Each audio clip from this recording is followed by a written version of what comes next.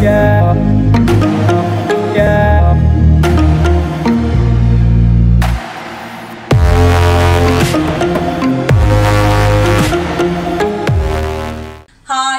എല്ലാവർക്കും നമസ്കാരം.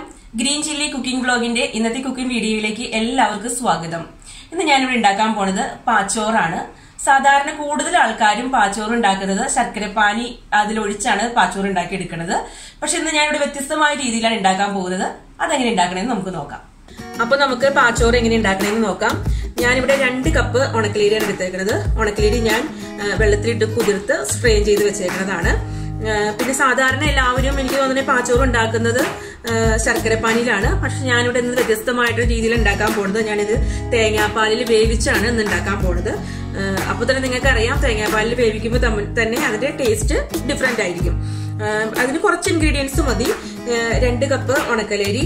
പിന്നെ ഞാനിവിടെ തേങ്ങാപ്പാൽ മൂന്ന് കപ്പ് തേങ്ങാപ്പാലും ഒരു കപ്പ് വെള്ളമാണ് എടുത്തേക്കുന്നത് അപ്പൊ ഒരു കപ്പിന് രണ്ട് കപ്പ് വെള്ളം എന്ന രീതിയിൽ. അപ്പൊ മൂന്ന് കപ്പ് തേങ്ങാപ്പാലും ഒരു കപ്പ് വെള്ളം എടുക്കുമ്പോൾ രണ്ട് കപ്പിന് നാല് കപ്പായി ഇനി നമുക്ക് വേണ്ട സാധനങ്ങൾ ഉപ്പ് ചുക്കുപൊടി ഏലക്കാപ്പൊടി. ഞാനിവിടെ അരമുറി തേങ്ങ എടുത്തിട്ടുണ്ട്. പിന്നെ ശർക്കര നമുക്ക് ശർക്കര ശർക്കരപ്പാൻ ഉണ്ടാക്കാനാണ്. ഞാൻ ഒരു മുന്നൂറ്റമ്പത് ഗ്രാം ശർക്കര എടുത്തിട്ടുണ്ട്. ശർക്കരപ്പാൻ നല്ല തിക്കായിട്ട് ഉണ്ടാക്കണം. ഇത് നമുക്ക് ഇതിന്റെ കൂടെ മിക്സ് ചെയ്യാനല്ല നമ്മളിത് അരി പറ്റിച്ചെടുത്തിട്ട് നല്ല നന്നായിട്ട് പറ്റിച്ചെടുത്തിട്ട് അതിന്റെ മുകളിൽ ഒഴിച്ചു കൊടുക്കാൻ വേണ്ടിയിട്ടുള്ളതാണ്. അപ്പൊ നമുക്കിതിനി ഉണ്ടാക്കി തുടങ്ങാം. അപ്പോൾ ഞാൻ ഈ പാനിയിലാണ് ഉണ്ടാക്കാൻ പോണത്.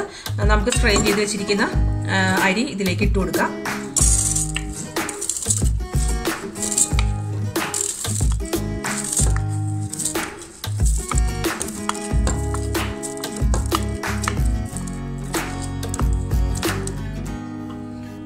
ഇനി നമുക്ക് ഈ ഒരു കപ്പ് വെള്ളവും രണ്ടാം പാൽ രണ്ട് കപ്പും കൂടി ഉള്ളത് ഒഴിച്ചു കൊടുക്കാം.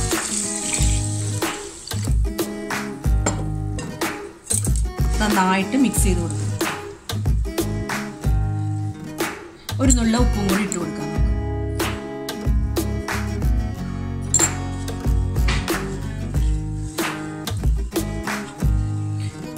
സ്റ്റൗ ഓൺ ചെയ്തിട്ടിട്ട് നമുക്കിനിത് അടച്ചു വെച്ച് വേവിക്കാം.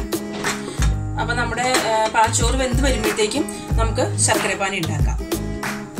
ഇനി നമുക്ക് ശർക്കരപ്പാനി ഉണ്ടാക്കി എടുക്കാം ആ, ഞാൻ സ്റ്റൗ ഓൺ ചെയ്ത് പാൻ വെച്ചിട്ടുണ്ട്. ഞാൻ ഇതിലേക്ക് നമുക്ക് ഇത്തിരി വെള്ളം ഒഴിച്ചു കൊടുക്കാം.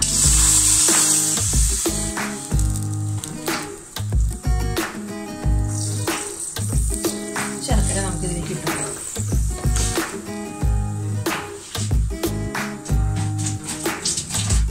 നമുക്കിത് ഇടയ്ക്ക് ഒന്ന് ഇളക്കി കൊടുക്കാം.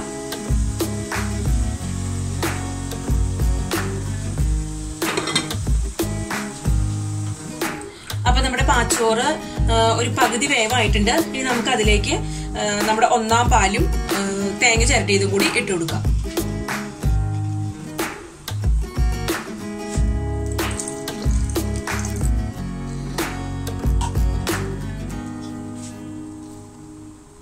നന്നായിട്ട് മിക്സ് ചെയ്യാം.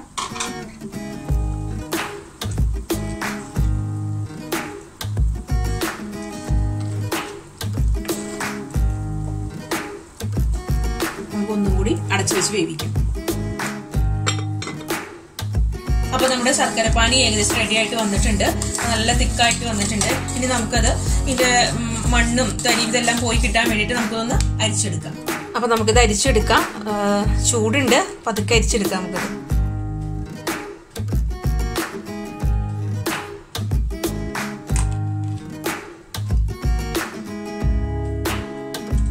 അപ്പൊ ശർക്കര പാനി റെഡി ആയിട്ടുണ്ട്. ഇനി നമുക്കിത് മാറ്റി വയ്ക്കാം. അപ്പോൾ നമ്മുടെ പാച്ചോറ് ഏകദേശം ഇവിടെ വെള്ളമൊക്കെ വറ്റി ഒന്ന് കുഴഞ്ഞു വന്നിട്ടുണ്ട്. നമുക്ക് അതിലേക്ക് ഏലക്കാപ്പൊടി ഇത്തിരി ചുക്കുപൊടി കൂടി ഇട്ട് കൊടുക്കാം. ഒരു അര ടീസ്പൂൺ ഏലക്കാപ്പൊടി.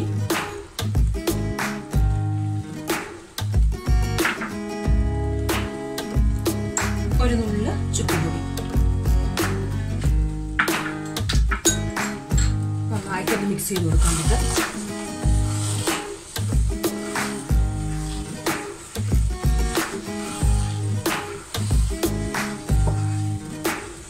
ഏലക്കാപ്പൊടിയുടെയും പാലിക്കിടന്ന് തിളച്ച പാലിക്കിടന്ന് നന്നായിട്ട് വെന്ത ചോ ഒക്കെ നല്ല സ്മെല്ല് വരുന്നുണ്ട്.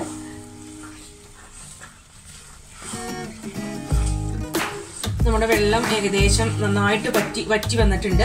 ഇത് നമുക്കിത് ഓഫ് ചെയ്തിട്ട് മൂടി വെക്കാം. അപ്പോഴത്തേക്കും അത് തണുത്ത് വന്നോളും. ഇത്തിരി ഇത്തിരി വെള്ളം അതിലേക്ക് എല്ലാം പിടിച്ച് നന്നായിട്ട് അത് കട്ടിയായിട്ട് കിട്ടിക്കോളും നമുക്ക്. ഇനി നമുക്കിതൊന്ന് മൂടി വെക്കാം. ഒരു പത്ത് മിനിറ്റ് നേരം മൂടി വെക്കാം. പിന്നെ ഇതൊന്ന് ഇത്തിരി നേരം ഒന്ന് തണുക്കണം. തണുത്താലാണ് ഇത്തിരി കൂടി നന്നായിട്ട് നമുക്ക് കട്ടിയായിട്ട് കിട്ടുള്ളൂ. അപ്പൊ നമ്മുടെ പാച്ചോറ് തീണ്ടി നന്നായി സെറ്റ് ആയിട്ട് വന്നിട്ടുണ്ട്. ഇനി നമുക്കത് സെർവിംഗ് പ്ലേറ്റിലേക്ക് മാറ്റിയിട്ട് നമുക്കൊന്ന് ഗാർണിഷ് ചെയ്തെടുക്കാം. ഞാൻ ഇവിടെ ഒരു പ്ലേറ്റ് ഗാർണിഷ് ചെയ്ത് വെച്ചിട്ടുണ്ട്. നമുക്കിനി ഇതിലേക്ക് സെർവ് ചെയ്യാം. നമുക്കിത് പല രീതിയിൽ സെർവ് ചെയ്യാം. ഞാനൊരു ഭംഗിക്ക് വേണ്ടിയിട്ട് സ്കൂപ്പിനകത്തെടുത്ത് സെർവ് ചെയ്യുന്നതേ ഉള്ളൂ. നമുക്ക് ഇഷ്ടമുള്ള ആകൃതിയിൽ സെറ്റാക്കി എടുക്കാവുന്നതേ ഉള്ളൂ.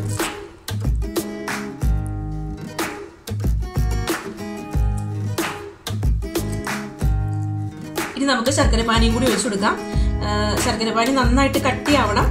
നമുക്ക് ഇതിന് മുകളിൽ കൂടെ ഒഴിച്ചു കൊടുക്കാം.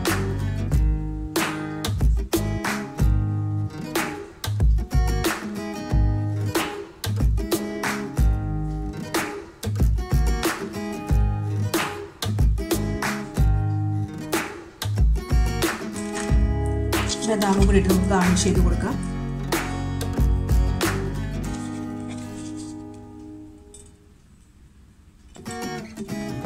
ഞാനിത് രണ്ട് ഷേപ്പിൽ ഉണ്ടാക്കിയിട്ടുണ്ട്. ഇപ്പോൾ അതായത് ട്രയാങ്കിൾ ഷേപ്പിലും കൂടി ഉണ്ടാക്കി നമ്മൾ കുട്ടികൾക്കൊക്കെ ഉണ്ടാക്കി കൊടുക്കുമ്പോൾ ഇങ്ങനെ പല ഷേപ്പിൽ ഉണ്ടാക്കി കൊടുത്താൽ അവർക്കത് ഭയങ്കര ഇഷ്ടമായിരിക്കും നമുക്ക് ഇതിന്റെ മുകളിൽ കൂടെ ശർക്കര പാനി ഒഴിച്ചു കൊടുക്കാം.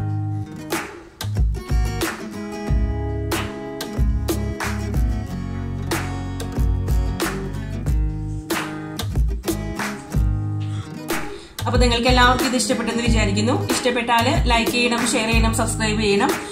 എന്റെ എല്ലാ വീഡിയോസും കിട്ടുന്നതിന് വേണ്ടി ബെൽ ബട്ടൺ പ്രസ് ചെയ്യണം. ഇനിയിപ്പോൾ അടുത്ത വീഡിയോ ആയിട്ട് കാണുന്നത് വരെ എല്ലാവർക്കും ബൈ